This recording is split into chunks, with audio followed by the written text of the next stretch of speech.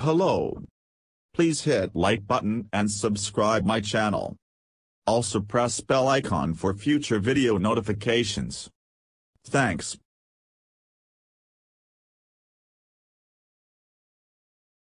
Deandra Dottin was excluded from the Gujarat Giants squad just before the start of the ongoing inaugural season of the Women's Premier League, WPL, on medical grounds, but the 31-year-old West Indian all-rounder has termed the reasons given for her omission as bewildering. Dottin was bagged for 60 lakh rupees at the WPL auction by the Gujarat franchise owned by the Adani Group, but days before the tournament started, her name went missing from the squad.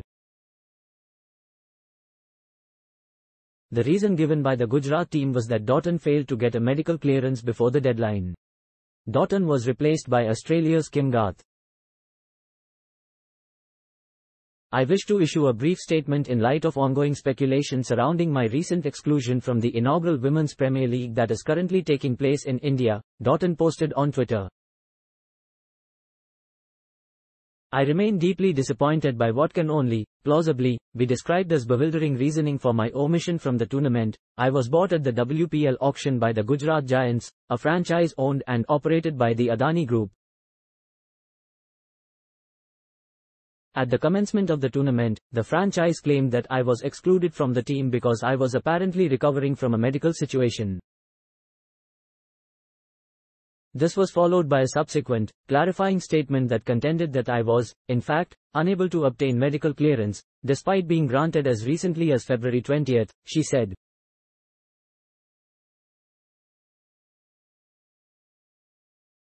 In light of ongoing speculation surrounding my exclusion from this year's Women's Premier League, WPL, please find t.co slash tdxtvfghn4, Deandra Dottin, at Dottin underscore 5, one trillion six hundred and seventy-nine billion two hundred and fifty-two million three hundred and forty-three thousand. The veteran of 143 ODIs and 127 T20Is said that she was shocked by the decision taken by Giants team management.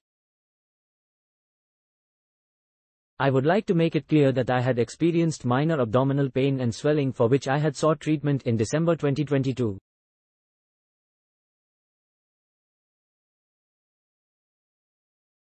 This was followed by two further referrals to specialists for second opinions in December and January 2023, respectively. Following testing and investigations by the specialists, I was asked to rest until February 13 and was cleared to resume fitness and playing activity from February 14. Consequently, I recommenced my personal training and fitness regime according to the guided timelines and experienced some soreness on the first day of resumed training which was anticipated and reasonable, given that I had been asked to rest in the weeks preceding training. AI image, Dottin Sai.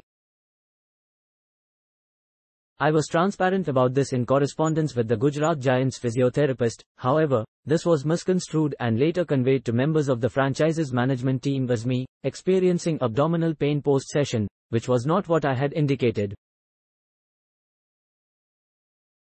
The franchise, subsequently, insisted that I get myself assessed locally in Canada, where I am currently based, despite medical clearance being granted as recently as February 20 by my treating surgeon, Dr. Lan Lewis, a copy of which had been presented to Giants, she added.